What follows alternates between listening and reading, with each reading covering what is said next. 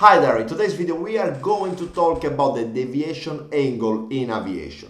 You will understand by the end of the video why when you fly you read the heading that you got in your compass is different compared to the magnetic heading, alright? So without further ado, let's jump right into it.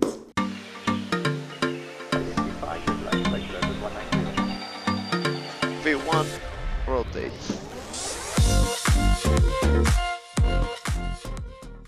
Hi there, I'm Gabriel from pilotclimb.com. I help you to become a better pilot. So if this is what you want to do, consider subscribe to the channel and if you want to help my job, please give it a like to the video because this really helps the channel to grow. Okay, so without further ado, let's jump right into the whiteboard and let me explain you what it is the deviation angle when talking about aviation. Alright guys, as you can see in the whiteboard here, let me draw an aircraft in here, okay, in order to make sure that we understand what is this deviation angle. The heading of your aircraft, guys, is the uh, where is your nose actually is pointing. Okay, so your nose is pointing that direction. If, let me draw in here the true north. Okay, TN true north. Okay, so as you can see from the picture, the difference between the true north and the aircraft nose is 90 degrees in this case, okay? So this is a 90 degrees angle, all right? So, but this is not what the pilot will read inside the flight deck looking at the compass in this scenario. Why? Because the compass that you've got on board take as a reference the compass north. So in order to find out what is actually the pilot's reading, you need to know what is the difference between the true north and the magnetic north and what is the difference between the magnetic north and the compass north. So once you identify where the compass north is, you can actually calculate the heading, what is reading the what is the pilot reading inside the plane, okay? How do we do that? So let me change the color a little bit in here to make sure that this is a little bit more clear. So this is the true north. So the angle between the true north and the heading of your aircraft, the physical heading of your aircraft is 90 degrees.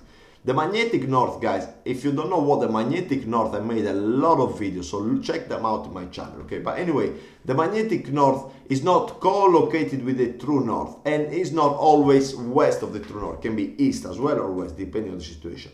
But for this example, let's say that the magnetic north is west compared to the true north, okay? So, as you can see already in this example, the, the compass, the sorry, the magnetic heading is already different compared to the true heading, okay? And but again, this is not what the pilot reads, okay? What the pilot reads inside the flight deck, okay, is the compass heading, all right? So the compass heading takes as a reference the compass north. So what the pilot actually reads will read this angle all the way down there. And this is the difference between the compass north and the magnetic north.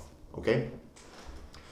Guys, the deviation is the difference, is the angle that is between, that there is between the compass north and the magnetic north. This is called deviation, okay? Deviation. And you can find the deviation, if you look at your compass, you will see a table below or above that. And that is where you get your deviation. That's where the uh, is showing you how many degrees or minutes as the error is the error of the compass, okay? But why it is important? It's simply because if you take the compass, you go in a field without any magnetic field, you will see that that compass will actually point you the magnetic north.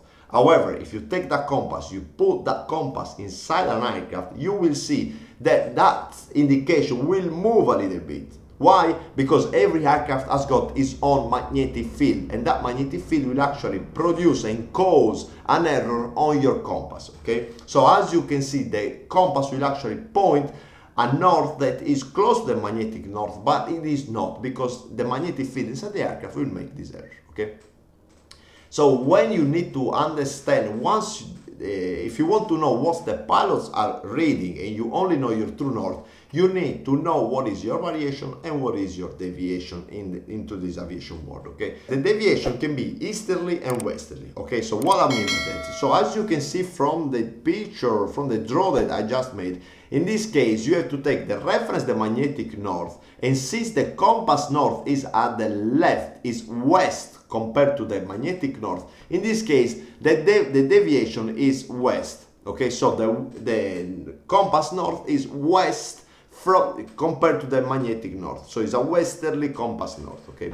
However, since every aircraft has got its own magnetic field, it might happen that you've got an easterly deviation. So thus, an easterly deviation that would mean that the compass north is in here and the uh, let me change that color in there. And the magnetic north is there okay? So whenever you read a deviation or a variation because it works the same you need to understand what is uh, if it's a easterly or a westerly deviation slash variation. If, as, if it's a westerly variation that means that the magnetic north is west compared to the true north if it's a westerly deviation means that the compass north is west compared to the uh, magnetic north.